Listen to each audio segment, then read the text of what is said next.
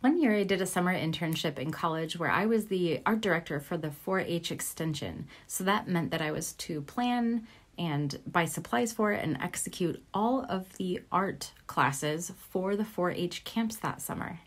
Going into it, I definitely had a plan and I would explain projects, but I took a hands off approach to it when it came to instructing and really getting uh, involved with the kids because really all I had to do was to give them the material and then I'd walk across the classroom. I would stop and I'd ask kids about their projects, and they were always so excited to tell me about their projects. I would ask questions and I would give helpful feedback.